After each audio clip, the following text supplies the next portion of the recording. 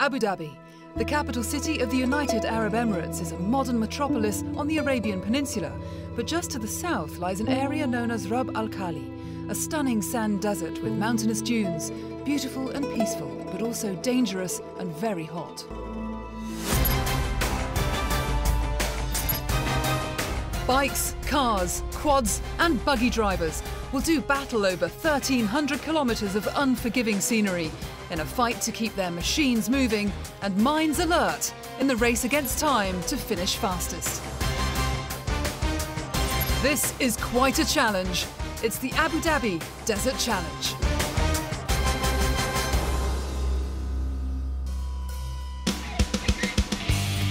Before the rally headed to the desert, the 120 plus competitors were busy readying their highly specialised machines in time to be put through a vigorous scrutineering process with the officials from the FIM in charge of checking the bikes and quads, the FIA looking after the cars and buggies.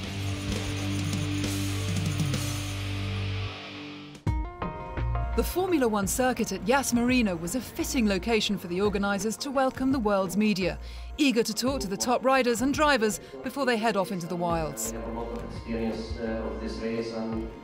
The 27th edition of this prestigious event showcases the very best in international cross-country rallying, and the man tasked with putting the week's proceedings together was Emirati motorsport legend Mohammed bin Sulayem. If we look at the bikes and the cars, we have the best of the two worlds.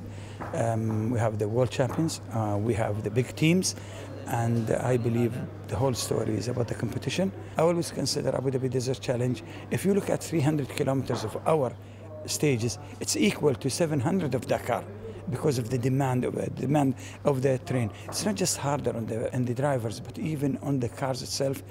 I just hope they understand it's a long endurance here. And one thing I would say, do not underestimate this event and respect it for you to survive.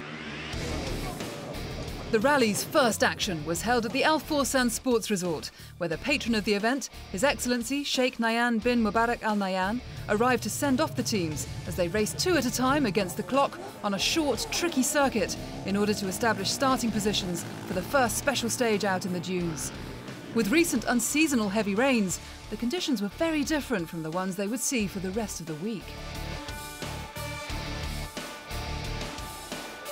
The Abu Dhabi Desert Challenge acts as the season opener for the 2017 FIM Cross Country Rallies World Championship, and reigning 2016 world champ Pablo Quintanilla from Chile was here to stamp an early claim on retaining that crown. He could only set the third fastest time though. Uh, this is my third time uh, that I'm racing here in Abu Dhabi and the first time as a world champion. So sure is something special and, and I will try to, to do my best and have a, a good race. Red Bull KTM factory racing was well represented with three riders, though they were missing 2016 Desert Challenge winner Toby Price, who was out with injury after a recent leg break. Frenchman Antoine Meo wasted no time in making sure Price wasn't missed by putting down a great run to go second fastest. Though it was teammate Sam Sunderland who finished in the quickest time to give himself the best starting spot for stage one his winning ways seemingly continuing from his recent Dakar Rally win that he'd spent so long trying to achieve.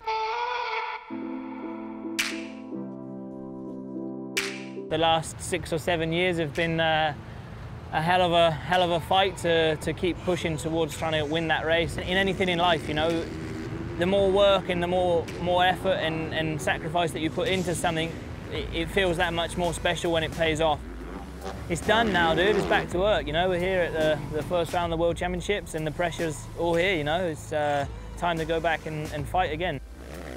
I want to win. I want to win more than anything. I'm ready. I feel strong. The bike's good. The team are, team have been working hard, and um, we're here to win. Local rider Mohammed Al Balushi was here once again, looking forward to taking on the top riders in the world in his backyard. Can't wait for it to start. Uh, very excited. Finally, the day is here. I know today is a very short day, but uh, at least you get the road book and you start, you know, with a normal routine, which you will stay on it for the next week. So I uh, can't wait for the countdown to start and we start the rally and hopefully it's a positive step. Another UAE local is Sheikh Khalid Al Qasimi, who set off in the top T1 car category, his new Peugeot 3008 Dakar tearing around the track but could only manage sixth fastest. A slightly disappointing result, but with a new machine, he had a lot to learn. Russian duo Vladimir Vasilyev and Konstantin Zhiltsov took their Mini All 4 racing to third spot on the grid, while the Ford F-150 Evo of Martin Prokop sounded great as it sped around the wet sand track. The Czech driver and his co-pilot, Jan Tomanek, were delighted to go second quickest, surprising some of the onlooking crowd. Nearly five seconds fastest on the day was Qatari driver Nasser Al Attiyah and French co-pilot Mathieu Baumel. An incredible performance in their Toyota Hilux. Though delighted with the result, Nasser wasn't expecting it to be an easy week. We are so happy to be here in uh, Abu Dhabi Desert Challenge, you know, after good result in uh, Dubai Baja. Abu Dhabi, it will be a special race and uh, it will be hot, not easy, you know, because you see now it's around uh, 35 or 36 uh, degrees, you know but uh, it will be not easy for everybody and uh, I have a lot of experience of this uh, of kind this weather and terrain and we try to do our best you know and to win uh, to be hat trick. A few hundred kilometres drive south into the Al Gharbia region of the UAE and this is how the five stages would look. All tough days, though day three stands out as the longest distance in the biggest of the dunes.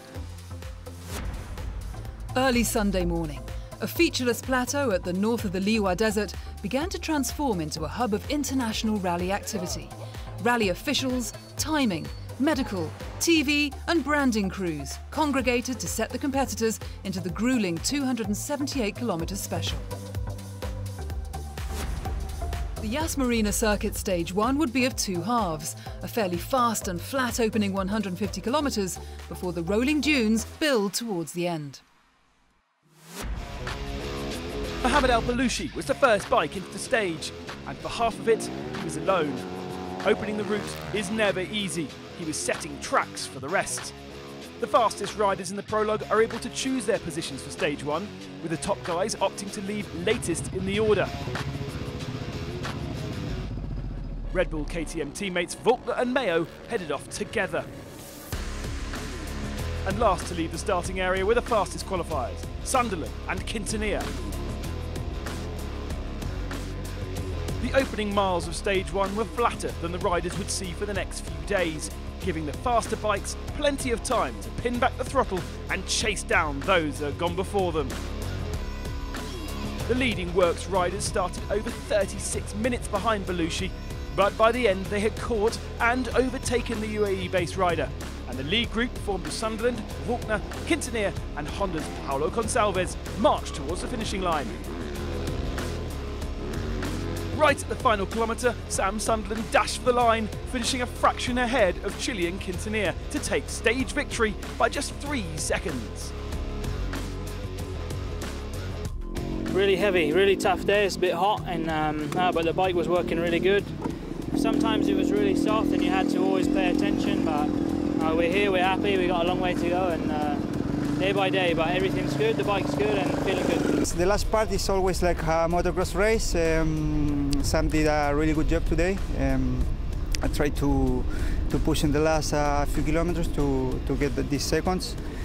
So I'm happy. I'm happy with the day. I'm happy with the bike. So uh, feeling good and strong. So it's really good. Pierre Alexandre Renet finished the day six minutes back in fifth position, while second Honda of Kevin Benavides was a further three minutes behind. 10 minutes cover the top six bikes after stage one, with local rider David McBride rounding out the top 10, just 42 minutes off the lead. Stage one had already taken its toll, and one of the riders to suffer early injury was Alan Boyter, who's the team manager of locally based Vendetta Racing. He may be already out, but riding the event himself was the least of his responsibilities. Running a private team in amongst the world's best was more than just a hobby. Vendetta Racing was formed in 2007. The core members are myself, uh, Dave McBride, Dave Mabs, Steve Blackney, uh, my wife, team chef, team mother, team everything else. It's, it's a laid back atmosphere. It's got its dangers, it's got its risks. We're all just here for a bit of fun. For this event, for this specific event, um, we actually fantastic mechanics behind us. We actually fly these guys in from the, from the UK. They're all personal friends of ours. Same attitude to racing, same same mindset, and both races themselves, because uh, you need a strong support team to do this event. You, you do get some days which are not enjoyable. Um, my day one was definitely not enjoyable, but you muck in, you, you, you support everybody else. It's, it's, it's a great atmosphere down here anyway. I mean, yeah, we, have all been up, stuck in the top of a sand dune, sweating, bike, bike problems, whatever. That moments are not enjoyable. But then a week goes by, and you, you look at the whole event, uh, rose tinted glasses maybe, but it's a definite drive to come back again. I think the drive it's in the name. It's a, it's a challenge, uh, and it, it's a fantastic challenge. It's a big event. It's a world championship event. You can actually rub shoulders with world champions uh, and and, and race competitively. Well, race in the same competition with them, maybe not competitively, uh, and that generally doesn't happen in any form of motorsport. The 36 strong car field were made up of three classes T1 prototype, T2 production, and the T3s, who have their little one litre engines. First of the top cars to start was ex-world champion Vladimir Vasiliev from Russia. His privately run Mini getting away to a fast start, looking to set a good pace for the chasing pack. Unlike the bikes, the fastest qualifying car, Nasser Al decided against being the last away. The 2016 champion set off, hoping to start well on his quest to win their overall third Abu Dhabi Desert Challenge title in a row. The newly painted Toyota Hilux Overdrive wasted no time getting up to pace. Main rival Sheikh Khalid Al Qasimi's poor qualifying run in the prologue hadn't affected his start position too much, and he went next. With local knowledge and experience, he wasn't holding back, blasting through the dunes with little care for the tricky, heavy conditions. Martin Prokop's Ford F-150 Evo had a paint job to ensure he wouldn't be missed in the desert. He was hoping to make a bright appearance in the mirrors of the cars ahead as soon as he could. One of the favourites for the T2 production car category, Emil Kessner, headed south towards the Liwa Desert, knowing his Nissan Patrol could handle what lay in store. He was quickly trying to hold off the slower of the T1s as they tried to make up time, this Saluki Motorsport team of Mark Powell and Quinn Evans trying to battle past them, side by side. In the T3s, Ukrainian Vadim Pritulak, driving without a co-driver, was running well and set the fastest time in that category. But the brutality of day one was clear. Local favourite Yahya Ali had barely began when he shredded a tyre, and the task of changing it in this heat was a tiring affair. Two-time winner of this event, Vasiliev had suffered air conditioning failure in his privately run Mini, and with temperatures rocketing to 45 degrees outside, the Russian was destroyed by the end of the stage. However, somehow he still managed to stay concentrated enough to get the third fastest time. Sheikh Khalid Al Qasimi had maintained a decent but not spectacular pace in his two-wheel drive Peugeot, and despite finishing second, he may have hoped for a little better. The four-wheel drive Toyota is the car to have in the dunes, but that takes nothing away from the incredible speed of the 2015 and 16 champion Nasser Al Attiyah. At times, he was literally flying. Yeah, actually it was good run, you know, but it's uh, really very hot inside the cars. It's around uh, 48, 52, you know. It was not easy, but okay, we, we did really good job, you know. I think we have a good time, you know, compared to the other uh, car, you know. We are quite happy to finish day one with a good lead. The Qatari had wasted no time in laying down the gauntlet and ended the day with an 11 and a half minute lead. It was their title and they were going to keep it. One down, four more challenging days to go.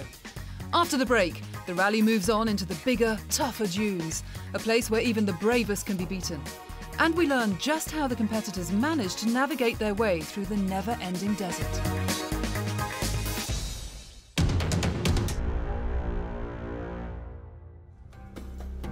Welcome back to the 2017 Abu Dhabi Desert Challenge, powered by Nissan. A six day cross country rally through thousands of kilometres of the renowned empty quarter of the UAE. Finding your way through one of the Earth's hottest, driest, and most unyielding environments is a tough assignment. Every evening, back at their base at the Qasr Al Sarab Desert Resort, the task of translating the following day's stage routing was up to each rider. How do you navigate your way through an event like this whilst bouncing through the terrain at breakneck speeds? This is a road book. Everyone gets given the same one the night before a race. I can explain that it's uh, kilometre zero is straight. Uh, the dotted line means it's off piste, which means open desert. In cap 236, which is a compass heading. Um, and it's based off of kilometers and then you know what different kilometers is different information at 18.6 we have to turn right at cap 230 but it's not like 4x4 tracks it's just open desert so that's one way and then this is a solid line which will be a 4x4 track or a man-made track we have waypoints that we need to hit um, and if we miss one we get penalized uh, 20 minutes or more can be up to an hour if you imagine you need to follow, for a basic example, hunt cap 100, if you're not accurate on that cap, which if you can imagine in the dunes is quite difficult to ride in a perfectly straight line, um, and obviously the bigger the distance, the harder it is to be accurate. If you're a few degrees off, you can miss it. It's really important to, to mark really good the notes when you have some danger or some change of direction. We try to to put some important color to important thing like uh, change of duration, if it's one dangerous or it's flat or is it a big dune. You do this going as fast as you can. We have a GPS but it's closed, it's never open, it's not like we're following a TomTom -tom or something. When you come within a certain radius of that uh, invisible waypoint, it'll open and you need to validate it within 90 meters it's definitely the boring side of it. Just put the music on and yeah, normally just sit and chill out and, and get it done. But you need to focus as well, you know, because like for example, if I missed that note, it can be a bad day, you know. can be the end of your race or can be worse. So you know, I, I wouldn't trust anyone else to do it for me because it's my life at the end of the day. The whole of the rally's infrastructure had now moved deep into the Liwa Desert, where His Excellency Sheikh Nahyan Bil Mubarak Al Nahyan, Minister of Culture and Knowledge Development and Chairman of the General Authority of Youth and Sports Welfare, paid a visit to check everything was ready for the day ahead. The bivouac base alongside the Qasr Al Sarab Desert Resort was home to rally headquarters, the teams, their support crews, rescue teams, and the media centre. A whole international event based in the middle of the desert, quite the logistical challenge, but with careful planning, every need was catered for. Sheikh Nahyan enjoyed being shown around some of the technical aspects of this event. If day one was grueling, day two would be even worse. More dunes and higher temperatures for the competitors to handle. The Nissan Patrol Stage 2 is 279 kilometres, starting out in the rolling dunes before the rally moves up a gear in technical driving as they take on the steepest of the terrain. The top 15 bikes and quad finishers of Stage 1 would start off fastest first, meaning KTM Sunderland would open the road and set the track for the rest.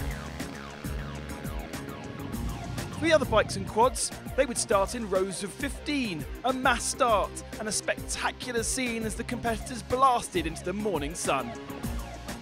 Sam Sunderland had done his best to break the sands, but he was soon caught by Pablo Quintanilla. Austrian Matthias Walkner also caught up with the leading pair pretty quickly, and the three ran together. But the question was, how was their pace in comparison to the second group? buddying up and giving chase with the two Hondas of Gonçalves and Benavides and the second Husqvarna of Frenchman Pierre-Alexandre Renet. Going nowhere was local Khalid Al-Fassi, a blown engine yesterday and now barely 10 kilometres into the stage, another problem. He was not the only one having a hard time of it. Dehydration and fatigue punishing the riders. It wasn't just the bikes having issue. Italian Camelia Liparoti spent a while stuck in the dunes, desperate for a tow. I had a bike in front of me, uh, which slowed down, and I got stuck. So I tried to lift my quad, but it's too heavy, so I couldn't lift it. I had to wait for, for another quad. Already under tow was Azamat Tulezov.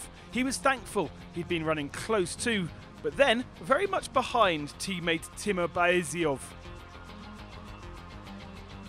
It was a better day for the two legends of the quad category, Kees Koolen and Rafal Sonik. They ran together, both having to make up time after problems on day one, and they were pushing as hard as they could. New to the quad category, Fahid Al Masalam had a good day too, closing down the gap on overall Polish leader Kamil Wisniewski. Back in the bikes, the leading three riders had kept a slim advantage to finish together on the road, but the chasing duo of Pierre-Alexandre Renet and Paulo Gonçalves were fastest through the stage, Renet just taking it. At the refueling uh, I saw I was uh, not far from the from the leader, and uh, I tried to to catch him. Uh, I make it was Paulo. I, I catch him, and uh, at the end he, he, go again a little bit, but uh, with a three-minute gap after the start, I'm in front of him, so it's it's a good day. Sunderland had paid the price for going first and finished sixth overall. It's uh, been a tough day. Um, I opened all 300 kilometres in the front, and uh, it's always difficult in the dunes when you've got no line. Um, you can't see see so well. It's a bit frustrating, but we just got to keep working. Uh, I feel good, the bike's good, and uh, tomorrow's another day. Matthias Walkner provisionally took first overall, but a one minute penalty for speeding handed Gonçalves the overnight lead. 4 minutes 15 seconds separating the top five riders after two stages. In the cars, the man to beat was Nasser Al Attiyah, setting off with over an 11 minute lead. The atmosphere in the cockpit is hot but relaxed. Mathieu Baumel guides the Qatari through the sands.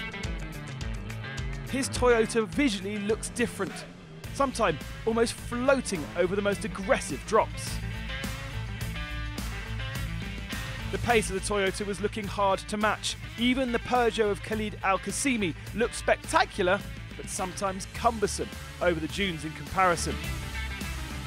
The close allegiance to Peugeot Sport through his WRC participation means Khalid has work support here running his 3008 and is learning every day the complexities of this amazing beast.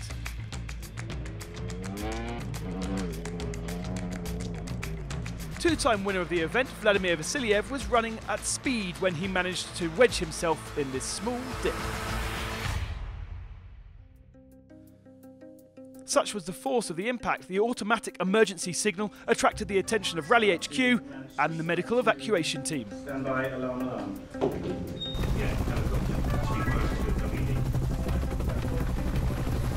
My team is voluntary, myself included. We come here, we give up our time and our skills to keep the competitors safe. Um, and uh, I think that's one of the reasons why the competitors like to do this event, because they know that if anything was to happen, they'd be well looked after. So people take a week off, come to the desert, whether they be trauma surgeon, anaesthetist, nurse, paramedic, um, and we band together as a team people come year after year after year. They learn to work together as any trauma team would uh, in a district general hospital. I'm James McBride. Uh, I'm a GP. Uh, I live in Glasgow. I'm originally from Northern Ireland. And uh, I've been uh, coming to these events for the last few years to, to volunteer uh, as part of the medical team, uh, search and rescue team for the Abu Dhabi Desert Challenge. And it's really the, the, the love of, of, cars that got me into it Uh, in, at the start. But I mean, as a team, uh, the team keeps me coming back. Uh, we've got a great bunch of people here who are from all different disciplines. We've been doing it together for the last four or five years, and you make bonds with those people. we're like a big family out here, a big desert family. The Desert Challenge is, a, is an event that's unique to, to a lot of others, and I mean, it's called the Desert Challenge because it really is a challenge. Um, anybody who has spent any time out here, it's a hostile environment, nothing lives here, nothing grows here. It really is treacherous. I mean, people say, oh, it's a desert, walk can you hit? There's no trees, there's no rocks, really, but, uh, you know, if you hit this sand, it's like hitting concrete. So that's any, any injury you can pick up, really, of falling off a bike or, or landing heavily, and even in your seat without rolling, yeah, you get a lot of spine injuries, bone injuries, and as I say, dehydration then added to all that means that we, we, have, we, have, a busy, we have a busy few days out here. I mean, day to day, we travel quite a big distance in the helicopters. Uh, we, we follow the rally routes. Um, there's three helicopters involved in this event, which are supplied to us by Abu Dhabi Aviation, thankfully. And uh, we, we, we move about depending on where the competitors are. Everything is tracked. We're generally spread throughout the field, ready to react. Basically, when we arrive in a scene, we assess the situation, pick up the driver, like, like any paramedics or pre-hospital team would do. And uh, we, we make an assessment, and we make a decision of whether we take them to hospital, our local hospitals here, or, or whether whether we take them back to the medical centre. With the three helicopters, it gives us good options because we can run multiple incidences at once, which uh, means that we're, we're, covering safely the whole field, which is, which is great. And it's reassuring to the competitors and it's reassuring to us that we're doing a good job when we're here. The experience of pre-hospital medicine is quite different to working in a hospital where you have a pre-packaged patient delivered to you by the ambulance staff. It's a skill set that helps and I think complements the, the hospital medicine.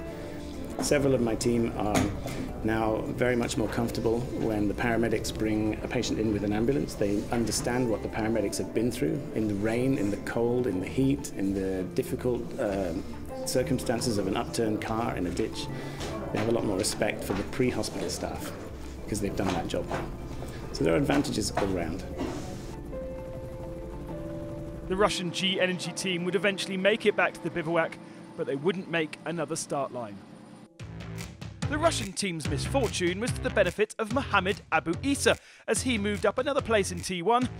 Having spent much of his 2016 doing military service in Qatar, he's not had huge amounts of time behind the wheel of the Mini. But this was a day for an opportunist, and Mo was exactly that.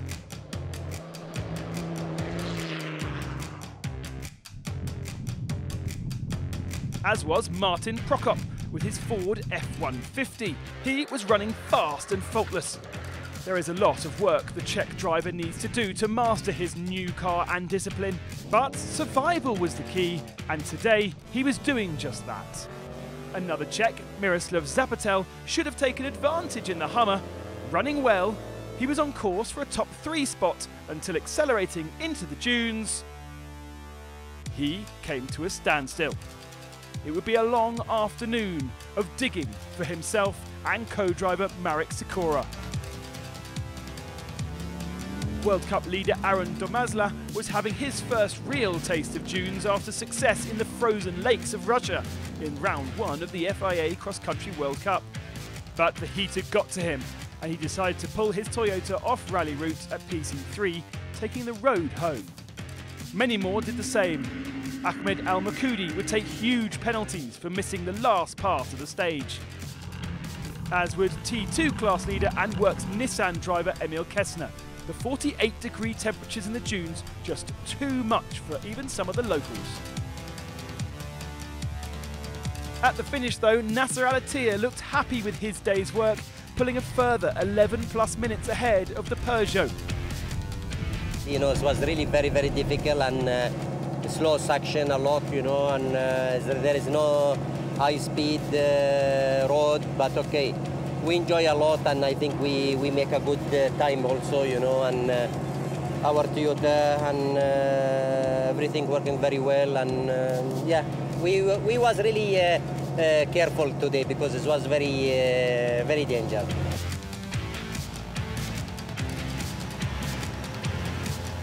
it was a very tough day. Uh, we had the big problems on the, the, very soft sand. We had to do a lot of loops. Uh, we were struggling, but we tried to carry uh, a balanced momentum, so we tried to avoid the, the bad places.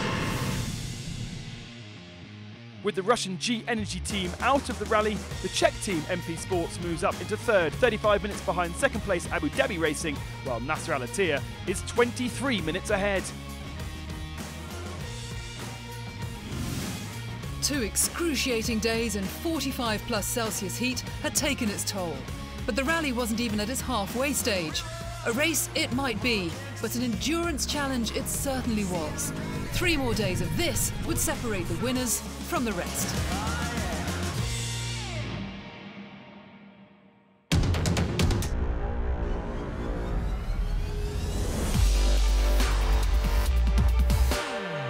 Welcome back to the Abu Dhabi Desert Challenge, a battle through some of the most inhospitable terrains racing machines could face.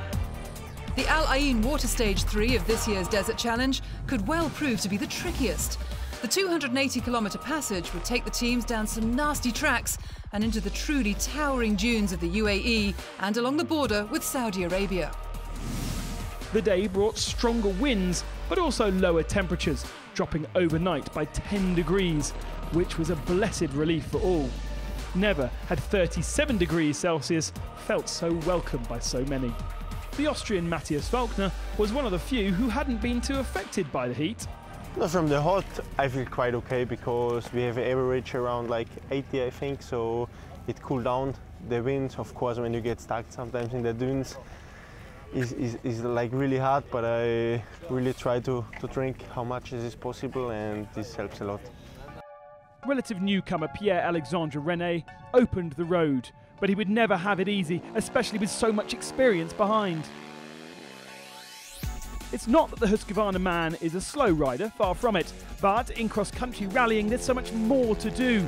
Read the terrain and the roadbook, work out where the next waypoint is, and avoid all of the looming dangers.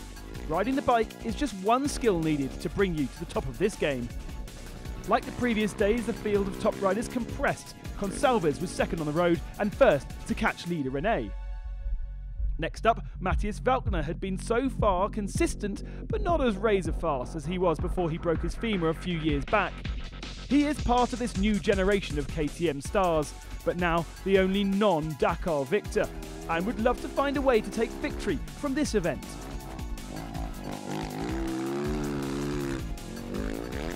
Pablo Quintanilla is the best place to fight the KTM boys hard. The Chilean has always placed well on the Desert Challenge, but is yet to take a win. And Team Husqvarna would love to take some of the glory away from the orange KTMs. Not least from Sam Sunderland, who he beat to the World Championship overall last year. Remember, Sam may be 2017 Dakar champion, but is yet to win this home event. No one was yet stamping their authority. For the local favourite, Mohamed Al Balushi, his slow prologue time had put him on the back foot and the wrong piece of sand compared to the fastest guys. However, he was still running best of the rest behind the works riders and was pushing all the way. It may have not been Kevin Benavides' year either. The works Honda rider broke down in the latter part of the stage and had a long wait before he and his bike could be recovered. 12 minutes separate the leading five bikes with top UAE rider Balushi in 7th and Vendetta Racing's David McBride in 8th. Back at the ADNOC refueling station, bikes and quads were still arriving, and with a lot of flammable liquids around and competitors keen to fuel quickly, fire is a hazard. Well, Desert Challenge is a relatively new project for us. This is our second year supporting the event. We feel privileged to be chosen as the service provider to look after fire and rescue safety here. And the challenges that we face in the desert are similar to the challenges that the actual drivers and racers face as well. Extreme conditions, difficult terrain. Our vehicles are designed to cope with that. These vehicles do pose very special challenges to us as a fire and rescue service. They are bespoke individual vehicles. Simple things like locating the batteries, the type of fuel tanks, where they're located, the difficulty of entering the vehicle, the different types of suspension units all pose a problem in the event of a fire involvement. So they are very difficult. And when the staff are there, our staff make full use of the time to go around the vehicles, talk to the engineers and the mechanics to find out the different vehicles and what challenges they may present to us as well. Such a shame Kees Koolen had had such a poor first day because the Dutchman would have been right at the front of the quad category after another super fast stage. He started alone in the first batch of 15 riders, which meant a lonely but fast day. Rafal Sonik was in the same boat and seemed to have fixed his fueling issues to have another enjoyable ride in the dunes. As someone native to Poland, the 50 plus degree temperatures the first two days were not welcome, but day three wins were much more to his liking. His pace put him back in the lead of the quad category. Peruvian Alexis Ponce also had a great ride, finishing third of the day. Whilst Guatemalan Rodolfo Schippers had fought through two days of illness at the start of the week to be within 10 minutes of the quad leader, a truly remarkable story was emerging in the class. Sonik had a slim two minute lead ahead of teammate Wisniewski, with Al Musallam in third and Schippers under four minutes off the lead in fourth.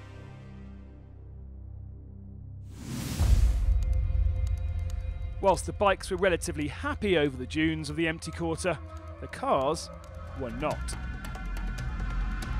Even the best cars were getting caught out. Aron Domžala in the Toyota managed to get stuck eight times during the day. Yahya El Hali wasn't one of the cars having issues though. With 27 desert challenges under his belt, he knows how to handle the dunes. Nevertheless, the safety teams are never far away. The sweep team's a vital part of the of the rallying uh, cross-country championships because of the nature of the terrain, uh, because of the harshness of the event. It's mechanically hard, it's physically hard. Uh, competitors sometimes just physically can't compete a race. They uh, they break their cars, their bikes, they can't mechanically get through. So we have the sweep teams there to make sure that nobody gets left out in the middle of nowhere on the road. Uh, so these guys are very, very uh, experienced, highly professional uh, officials uh, who are experts in off-road driving and vehicle recovery. It just means that as the event moves through, we don't leave a, a, a trail of destruction behind us and that we bring everybody back out uh, of the desert get them back to their crews uh, each and every night. Is it a car or a bike? Nobby, go with him and we'll follow. I believe rolled seriously down Marine Dune somewhere. Yeah, so we just had a uh, car who's rolled, um, so it's actually quite a serious incident. So obviously the helicopter will be on the way. Um, as a backup, we're going to be making best speed to get there with the medic that we have on board in the car. We're two and a half kilometres away and we'll make best speed to, uh, to get to the driver. Germany's Stefan Schott was running in sixth place at the Moreeb Hill when he flipped his Mini All 4 Racing on the tallest dune around. A serious roll ensued. Thankfully, neither Schott nor co-driver Andreas Schulz were injured, and they would fight another day, though their car had some serious damage, and it would take some great work from the sweep teams to recover it back to the bivouac, where a long night of repairs would ensue. The close bond between the competitors and rescue crews was clear to see. How many times do I win shoot back onto your wheels? Three. Okay, get your jack to get this time. Okay, so when this car 210 rolled, they've obviously gone over a couple of times. It's broken the rear uh, drive shaft, so they've got no rear drive. The wheel is also the rear wheel is also out of alignment. So as we're trying to winch and drive the car backwards, the brake caliper is catching the wheel. So now we're going to try and disconnect the brake caliper, hopefully free the wheel, and see what sort of motion he's got. Worst case scenario, we're going to try and tow him out into Moreeb Dune. There is nowhere on earth as remote, literally, apart from maybe Antarctica. Um, and we have a response time better than New York, London, Glasgow, Edinburgh, Sydney, it doesn't matter where.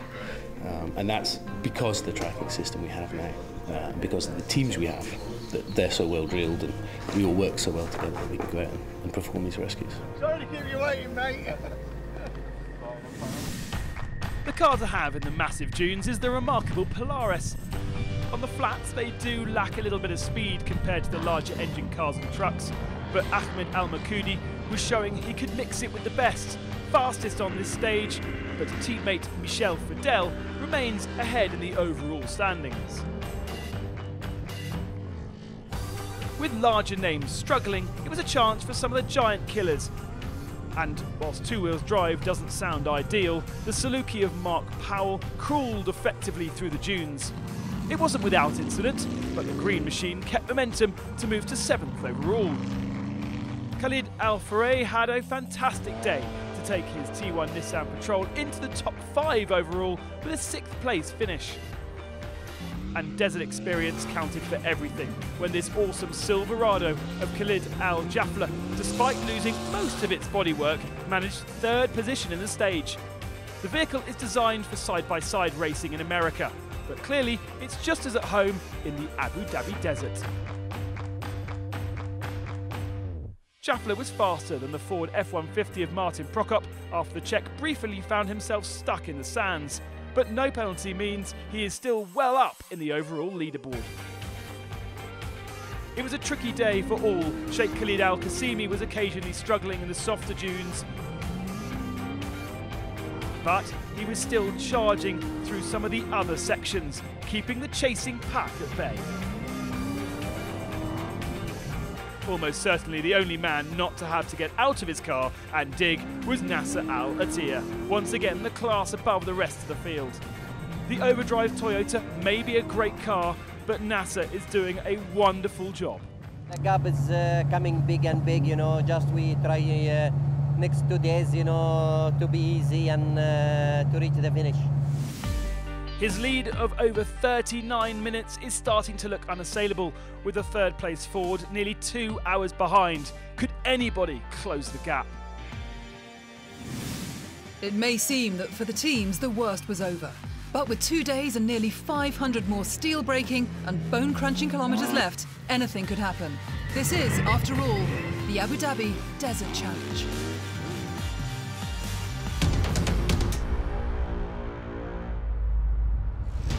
Welcome back to the empty quarter in the United Arab Emirates.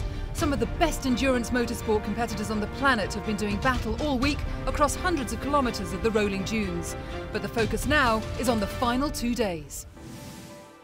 The penultimate ADNOC stage took the teams back through the giant sandhills of the Liwa Desert with a similar routing to the day before. The teams were expecting to face many similar issues.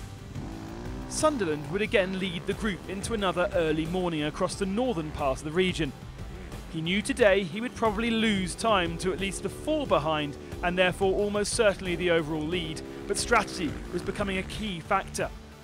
Indeed, Pablo Quintanilla had already taken a minute from the Brit in the first 80 kilometres, with the chasing three riders not far behind.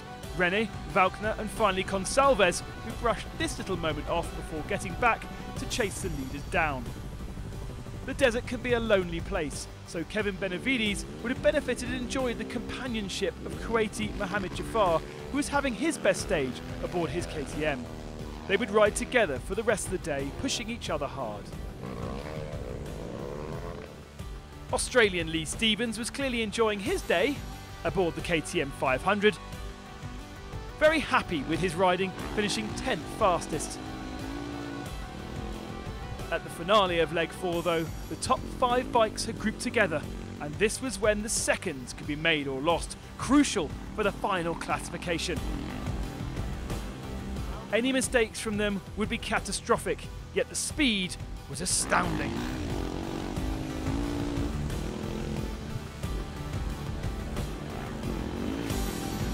They would once again finish the stage together, meaning Renet was the fastest, followed by Gonçalves, Walkner, Sunderland and Quintanilla. Today I, I start in front, so I knew from the beginning it will be a not so good day. So we try to play some strategy for tomorrow to, to have advantage in the last day because tomorrow I start behind, so I have the possibility to recover some time, so it's good for me. But it would be Benavides who would set the best time, a great comeback after his problems on stage three. Gonçalves had a small overall lead going into the final day, but just 90 seconds covers the top five after over a thousand kilometres of racing. Sunderland sitting fourth, but due to leave eighth in the race, giving him the best chance of victory overall. In the quads, it was another good day for Peru's Alexis Hernandez Ponce, who took the stage victory, but in quite a remarkable turn of events, with a second fastest stage time, Rodolfo Schippers took the lead of the rally. And when he arrived at the end of the stage, the effort and joy was clear to see. Nasser Al Attiyah and Mathieu Baumel's lead ahead of stage four looked ever increasingly unassailable as he confidently took once again to the dunes. Things were not going so well for his rival in the Peugeot. A drive shaft issue before PC2 had left him stationary for a while and he had to dig as well, but he was making good time up at the end of the stage. It doesn't help that the rivalry between the two teams has been fierce for years. Neither likes being beaten by the other, whether it be in WRC or the desert. It was becoming clear, though, Nasser needed to push no more, his position completely unbeatable. In the production class, Emil Kessner took the stage victory, but was hampered in the overall standings by an eight hour time penalty for missing part of stage two. Saudi driver Ahmed El Shagawi hadn't finished outside the top two all week and therefore had a firm grip on the overall title with a 48 minute lead from his teammate Yassir Seaidan. T3 class, Al Makudi had gained back earlier lost penalty time against the rest of the field, and after a second good day in a row, guiding his Polaris to the finish fastest, he was back on top of the leaderboard. However, the stage was not plain sailing for all. The sun was back out, and picking out the gradient of the dunes was proving tricky. Khalid El Jafla's home-built Chevrolet-based vehicle was having a run of its life despite still missing most of its front end, and now lost even more bodywork from the rear. He would still take a career best second at the finish. WRC expert Martin Prokop enjoyed a day-long fight with fellow countryman Miroslav Zapletal. The Hummer spectacular over the flatter sections, but the Ford still better in the sands. Prokop would end the day within 35 minutes of Al Qasimi's second position, but at the top only a disaster would stop Nasser and Mathieu from retaining their Abu Dhabi Desert Challenge title. It's never uh, been uh, comfortable, you know, but okay, uh, we try to, to work day by day, you know. Uh, we did really uh, four days of uh, Abu Dhabi Desert Challenge, fantastic, no mistake, no stuck, you know. And still we have one day left and we try to do our best for winning this Desert Challenge. This is a huge event, one that couldn't take place without the enormous contribution of all the staff involved, the vast majority of which are unpaid volunteers. We've got great volunteers, and the volunteers here who, who, who come out to work for seven days non-stop in pretty tough conditions. They've got to take, take a week off work. They've got to take a week leave of absence from, from their jobs, and they join us here as one big, huge family uh, to put this this whole thing together. About 300 people actually to coordinate the whole event here. Mohammed bin Sulayem, the, the owner and the founder and the president of ATC UAE, we can't do it on our own. We've got to depend on all these great volunteers that we have. Uh, my name is Evgeny, I'm from Russia and we are here on the finish post for the last three years with a wonderful event, Abu Dhabi Desert Challenge. It's absolutely amazing community. You may find here the friends from all around the world. This is very friendly environment and community. I'm proud of them, and they are as a, uh, to me as a family, and we are in um, debt to them. Uh, they have been here for a long time, and they have been associated with the Desert Challenge, Abu Dhabi Desert Challenge for a long time. So, and um, they are committed, but they are professionals also. The final Abu Dhabi Aviation Stage 5 arrived. A 234 kilometre dash north, back out of the bigger dunes with a flat sprint to the finish. The scene was set for a dramatic showdown in the bikes. A fascinating five way battle was in prospect. Sam Sunderland started 8th and 21 minutes behind the first away. His objective was to push to catch as many of his competitors as possible, and he knew his nearest rival for the title would be Pablo Quintanilla, so if he could see him on the horizon, victory should be his. But Quintanilla had a similar mindset. He started six minutes up the road, but still with plenty of tracks to follow. The Chilean should have been able to keep the gap to Sunderland over the shorter stage. Out front, such was the pace set by Argentine Kevin Benavides that he and Paulo Gonçalves, the two Hondas, were ahead on the road, but strategically they needed a miracle if they were even going to snatch a podium. Their pace wasn't fast enough, Having finished, they watched the clock and for Sunderland and Quintanilla to make their appearance. When they arrived together, Sam, having started so far behind, it was clear that he would be the stage winner and the 2017 Abu Dhabi Desert Challenge champion.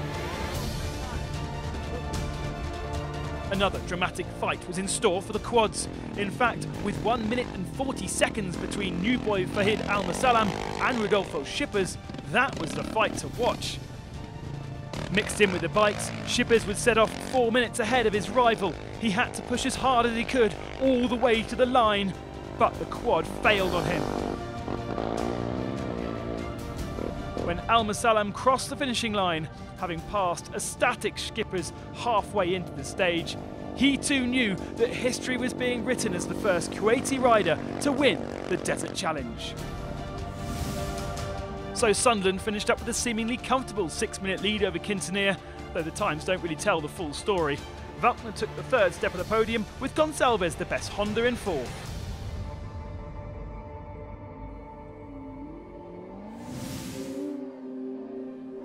Nasser had been joking about taking a picnic into the dunes, such was his massive advantage, and he looked suitably relaxed as he started off towards victory. Not far into the start of the stage, during a fast section, all seemed calm in the cockpit.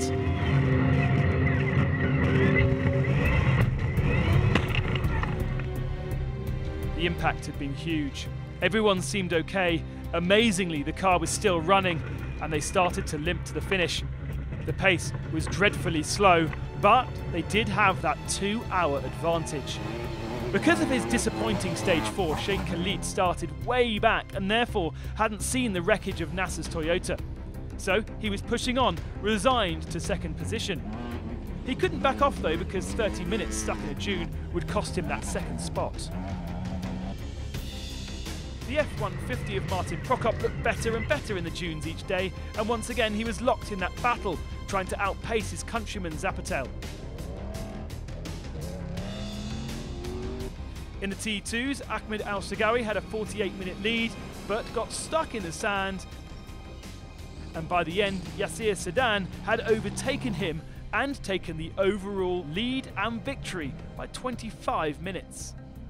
In the T3 category, Ahmed Al Makoudi's consistency meant he passed Michel Fadel in the stage and cruised to another title. At PC1 though, Nasser Al Attiyah's engine had enough and the Qatari was pulled out of the stage, his hopes of victory gone. The news had filtered back to the finishing line, and as Sheikh Khalid Al Qasimi crossed the line, they knew against all odds he had taken an incredible victory, the very first local winner of the car category. Martin Prokop improved all week and therefore took second, ahead of Qatar's Mohamed Abu Issa, who took the final podium spot. As race proceedings wound down, all of the competitors made their way back to Abu Dhabi to where it all began at the Yas Marina circuit. A chance for the winners to be given the recognition and applause they deserved. Really happy the bike and the team were perfect all week and we had a tough fight, you know, it looks easy on paper, the strategy and things, but really it's uh, not so easy when you're out there. You know, we had really hot temperatures the first days, was around 50 degrees and a lot of people were suffering, including myself. And uh, but yeah, it went well. You know, um, didn't really make any mistakes, and um, today I started behind, which was the plan, and had to had to push a lot to catch the time back, and it all worked out. So really happy. The good thing because it is in Abu Dhabi, and because the team is Abu Dhabi team, and because the driver myself presenting Abu Dhabi in the global motorsport as a sport ambassador won the rally. So we have a lot of credits today. We have many credits, the team, myself, it's good for Abu Dhabi, it's good for the event itself, good for the sport. The organisers' president, Mohammed bin Sulayem, was happy with another great edition of the event. I'm happy with the, with the result. You know, the, the, the, what you hear from the competitors when they said, we do not have to ask them to come invite them, they say, see you next year. That's, I'm not looking for appreciation, only recognition is enough. Celebrations carried on into the night at Yas Marina, a chance for all to share stories and experiences of an epic week. Over a thousand kilometres of the world's biggest sea sands had been raced over to decide this year's winner. Some had succumbed, some had triumphed. Through the hardest terrain, in the hottest of temperatures. One of the toughest challenges the world of motorsport has to offer, the Abu Dhabi Desert Challenge.